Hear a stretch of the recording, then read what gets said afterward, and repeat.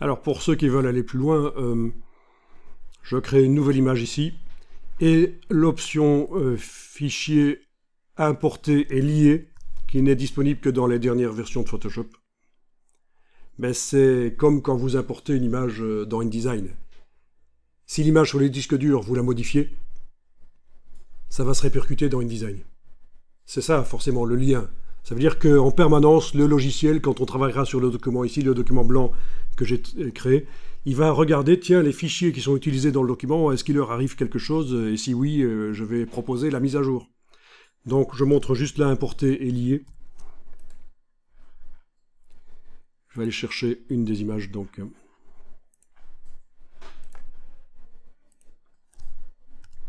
Ok, celle-là.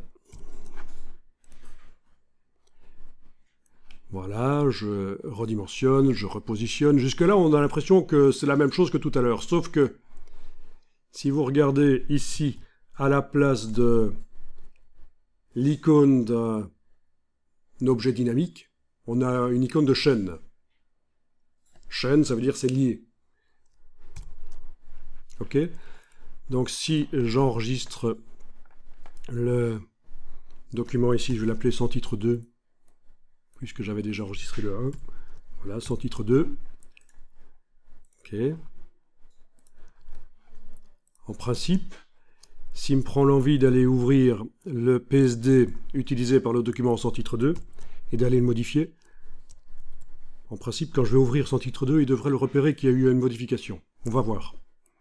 Voilà, j'ouvre donc euh, le PSD de ces bestioles. Je vais aller mettre rapidement un filtre pour faire une modification assez rapide. Voilà.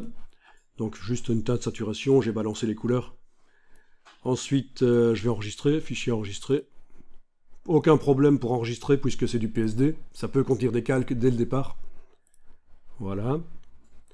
Et alors, essayons de voir ce qui se passe si on ouvre le document ici qui utilise celui-là, lié.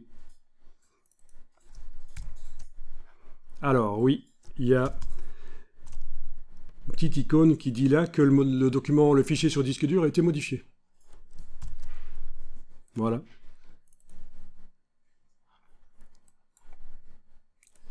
Ok, alors, la mise à jour. Clic droit, parce que là j'ai double-cliqué dessus et ça a ouvert le document là. Euh, clic droit, mettre à jour. Le contenu modifié. Et voilà. Donc dans mon document, mon photomontage sans titre 2, le contenu a été mis à jour. Donc vous pouvez faire l'un ou l'autre. Incorporer, donc importer et incorporer, ou glisser déposer du Finder de l'explorateur Windows vers euh, le fichier Photoshop, donc c'est importer et incorporer. Et si vous voulez, vous pouvez jouer avec le système de importer et lier, avoir vos fichiers liés, tout en sachant que ça veut dire que s'il faut avoir de l'ordre, vous pourriez être en train de modifier un fichier Photoshop qui est utilisé par un autre, et là, ça va, ça, va le repérer. Donc, hein. donc euh, il, faut, il faut gérer ça. Dès qu'on fait du importer et lier, il faut réfléchir. Tiens, ce fichier, est-ce qu'il n'est pas utilisé par tel ou tel document? Ça va modifier le document, qu'il utilise.